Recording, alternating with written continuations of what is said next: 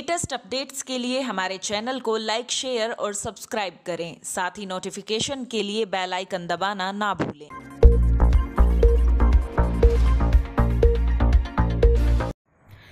देश में कोरोना संक्रमण अपना शिकंजा मज़बूत करता जा रहा है। देश में कोरोना वायरस के मामले बढ़कर 11,921 हो गए हैं। बुधवार को महाराष्ट्र में 117 कोरोना संक्रमितों के मिलने की पुष्टि हुई है। इनमें मुंबई में छियासठ और पुणे में 44 मरीज़ मिले हैं। वहीं मध्य प्रदेश के इंदौर में 117, राजस्थान में 41 और बंगाल में 23 मरीजों की पुष्टि हुई है। यह आंकड़े covid nineteen India dot O की वेबसाइट के मुताबिक हैं। देश में कोरोना संक्रमण से मौतों का आंकड़ा भी तेज़ी से बढ़ रहा है। कोरोना वायरस से मरने वालों की संख्या 405 पर पहुँच गई है।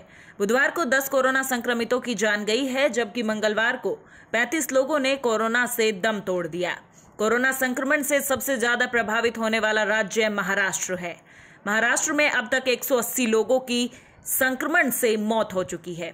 वहीं केंद्रीय स्वास्थ्य मंत्रालय के मुताबिक देश को अब तक तेईस लाख टेस्टिंग किट मिल चुके हैं।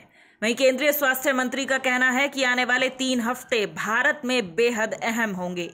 उन्होंने बताया कि कोरोना वायरस फ़िलहाल देश के 400 जिलों तक नहीं पहुँचा है और हम कोरोना वायरस की पहुँच का पता लगाने में कामयाब रहे हैं।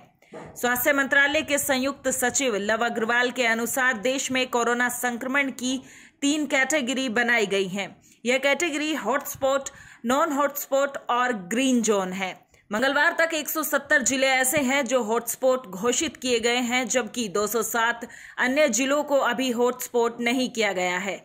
हालाँकि इनमें कोरोना संक्रमण के बढ़ने की आशंका जताई जा रही है। मामलों की संख्या के हिसाब से राज्यों को पीपीई किट मुहैया करा रहे हैं। कुल तिहत्तर लाख टेस्टिंग किट खरीदने को मंजूरी दे दी गई है। इनमें से तेईस लाख मिल चुकी हैं।